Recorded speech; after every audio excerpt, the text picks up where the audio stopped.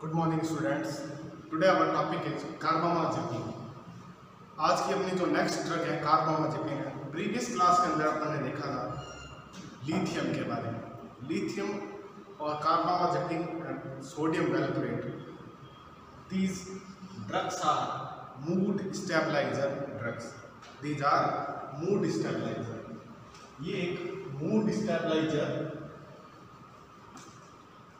mood stabiliser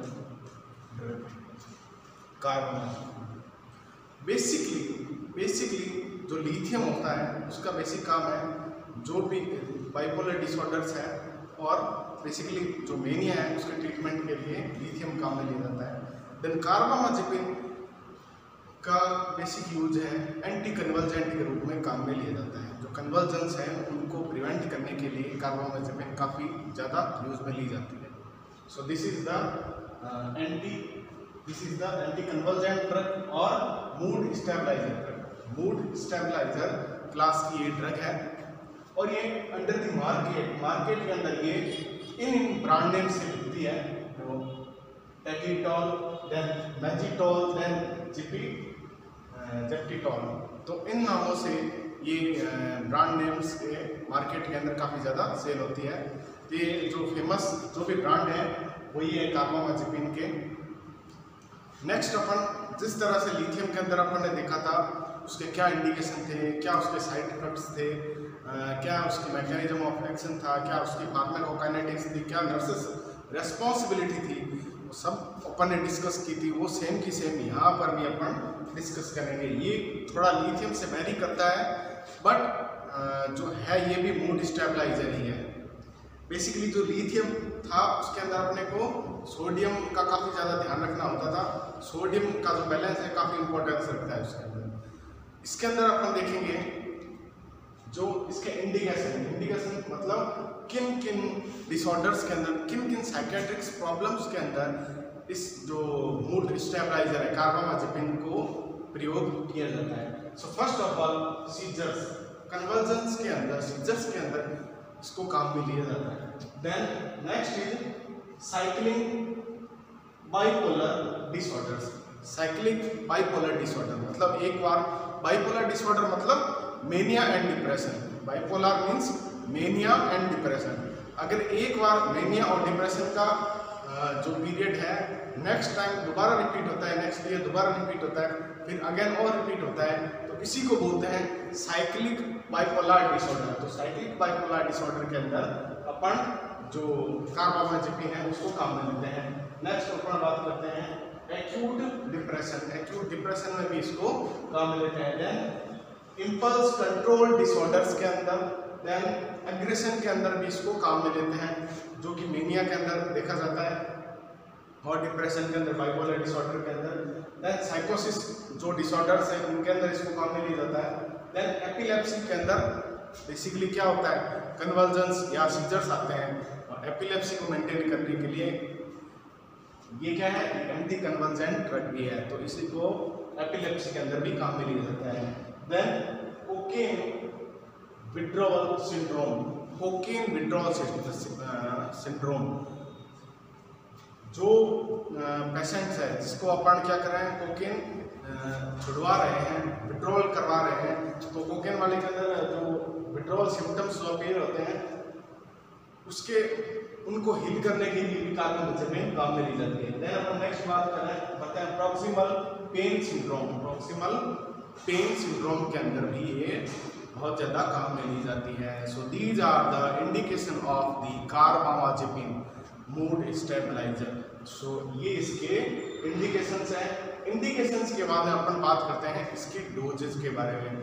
इसकी क्या क्या डोजेज रहेगी और इसको डोजेज को कैसे कैसे डिवाइड किया जाएगा। सो फ़र्स्ट ऑफ़ ऑल इसकी डोज जो रहती है टोटल डोज जो रहती है 600 to eighteen 1800 MG oral orally administrate की जाती है 600 टू 1800 एमजी और ये डिवाइडेड डोज के अंदर दो या तीन डोजेज के अंदर ये जो 600 टू 1800 जो एम uh, जो ड्रग्स है वो डिवाइडेड डोज डोजेज के अंदर बाय द साइकेट्री और फिजिशियन के द्वारा प्रिस्क्राइब की जाती है जो पेशेंट है जिसके अंदर ये इंडिकेशन जो अपन ने देखे उनको ये दिया जाता है। देन नेक्स्ट अपन बात करते हैं इसका जो थेरापेटिक लेवल है थेरापेटिक लेवल वो लेवल होता है जो किसी डिज़ीज़ को क्योर करने के लिए ट्रीट करने के लिए दिया जाता है।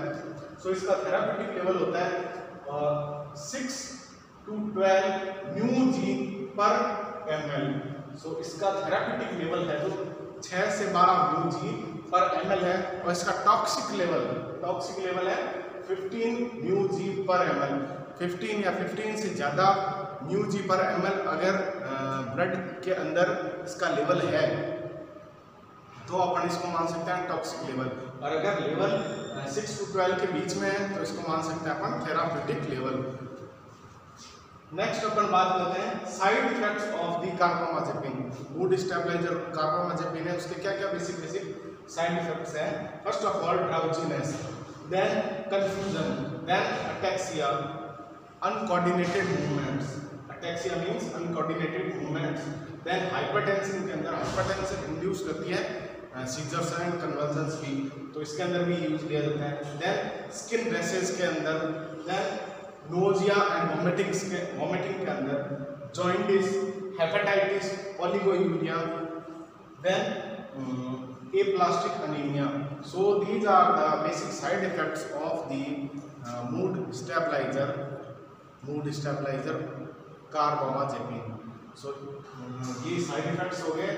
देन अपन बात करते हैं nurses responsibility in receiving patient carbamazepine जो कार्बामाजेपिन रिसीव करता है उसके अंदर क्या क्या रिस्पॉन्सिबिलिटी रहेगी?